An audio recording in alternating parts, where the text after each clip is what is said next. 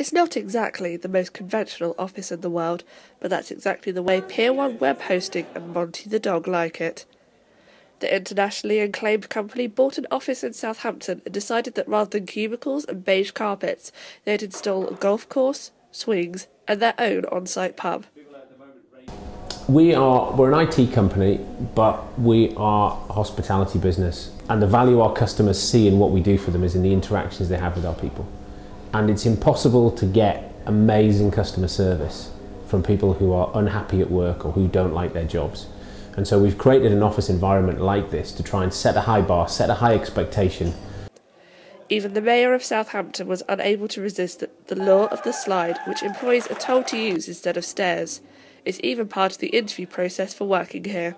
But does having so many distractions around really work for productivity? I spoke to some employees about the temptations for fun they have all around.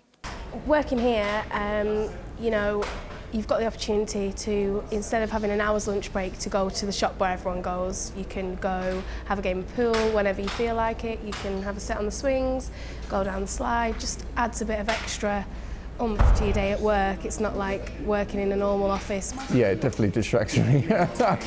um, yeah, but um, when when I feel that I'm being distracted, then obviously I, I take my work elsewhere and, and, try and find a quiet place. It's quite a big building, so obviously there's a lot of um, places where you can um, you can go and focus. With such a range of activities on offer, it's no wonder that this office has been dubbed the best place to work in the world. With more offices set to be transformed, the world of IT and business could soon be turned on its head.